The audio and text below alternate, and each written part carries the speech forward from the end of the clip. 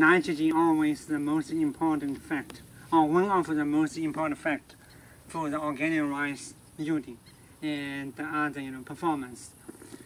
But compared to conventional rice, we have very limited options to increase the nitrogen supply.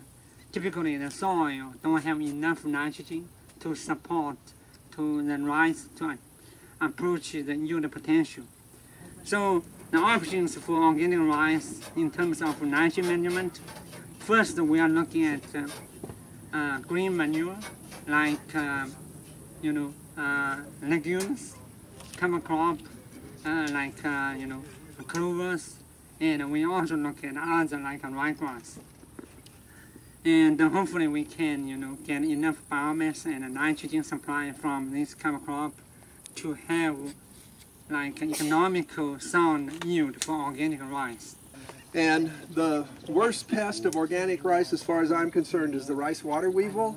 And the rice water weevil, um, it lays its eggs underwater, and then the eggs hatch, and then the larvae move down to the roots, and they feed on the roots. Uh, the damage to the by the adults uh, is not significant, but the larval stages, the four larval stages, are really they can do a lot of damage. And particularly in water-seeded rice, in drill-seeded rice, uh, as I said before, the, the insects do not lay eggs until there's a flood. And so the flood is applied much earlier on organic rice to control weeds.